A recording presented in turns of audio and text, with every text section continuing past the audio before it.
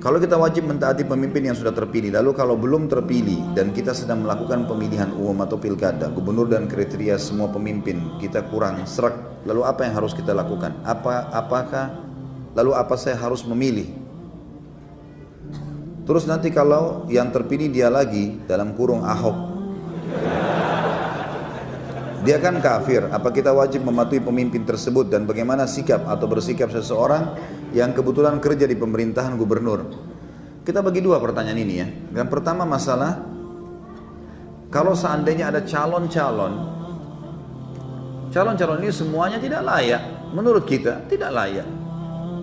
Maka bolehkah saya tidak memilih? Boleh. Hak kita kan. Boleh memilih, boleh enggak. Saya bisa dong memilih, saya juga bisa tidak memilih hak saya. Saya rasa itu hal yang sangat rasional sekali kok. Kita bisa mengatakan saya kalau pilih sembarangan lalu saya bertanggung jawab depan Allah hari kiamat itu jelas gitu ya.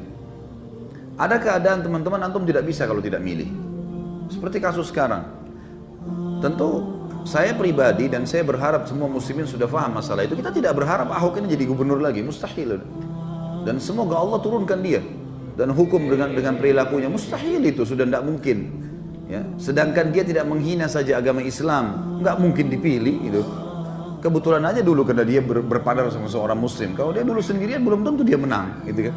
Sekarang secara kebetulan karena peraturan pemerintah kita, yang satu jadi presiden, yang satu jadi gantinya kan gitu. Kalau dia sendirian belum tentu gitu.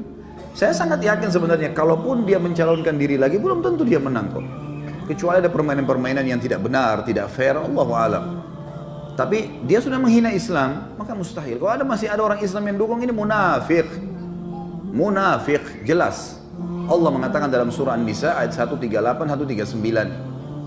Allah mengatakan dan beritakan berita kepada orang-orang munafik bahwasanya mereka akan kena siksa yang pedih, orang-orang yang menjadikan orang kafir sebagai pemimpin mereka dan meninggalkan orang-orang yang beriman. Apakah mereka mengira ada kemuliaan di tengah orang-orang kafir itu? Ketahuilah, kemuliaan dan kemenangan di sisi Allah saja. Jadi jelas Allah menyebutkan dalam An-Nisa 138 139 Orang-orang yang membela pemimpin non muslim di wilayah muslim adalah munafik. Jelas sampai dia bertaubat. An-Nisa mengatakan itu. Makanya saya ingatkan An-Nisa 138 139 kembali ke ayat itu. Siapa orang tanya, ada yang membela pemimpin ini, tunjukkan ayat itu. Tetap dia tidak mau ya Anda munafik. Allah yang berfirman. Mau marah terserah, silahkan marah.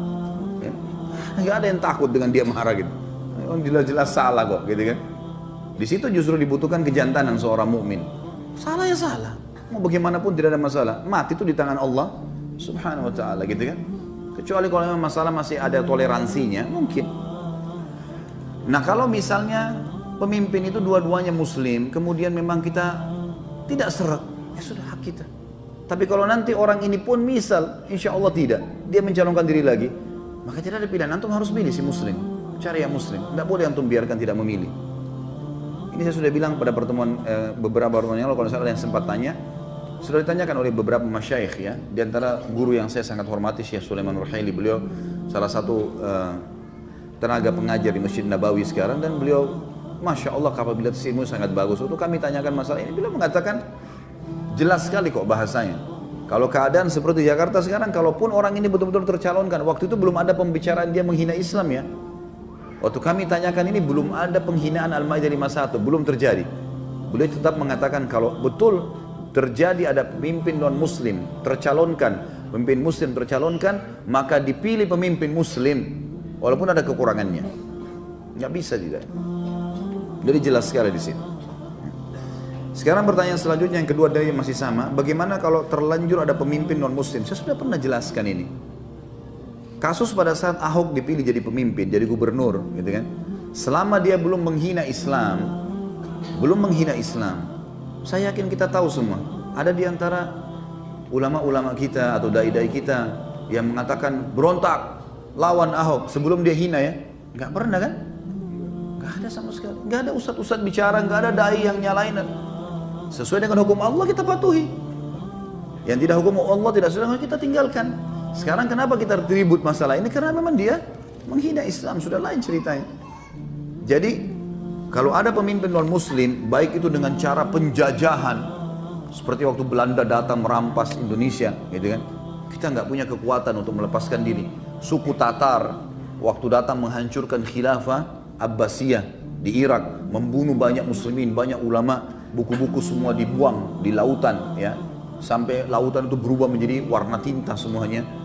Gitu kan. Kemudian banyaknya bangkai kaum muslimin yang dibunuh sampai puluhan ribu pada saat itu dan mereka berkuasa.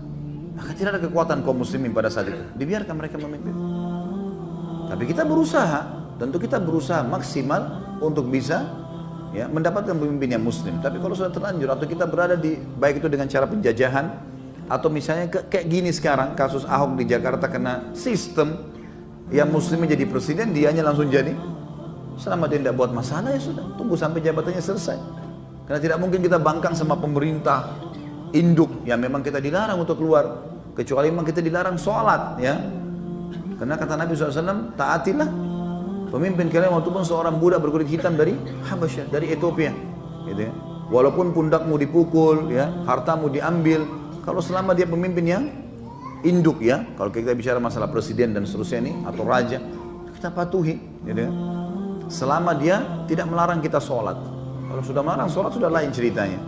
Allahu a'lam.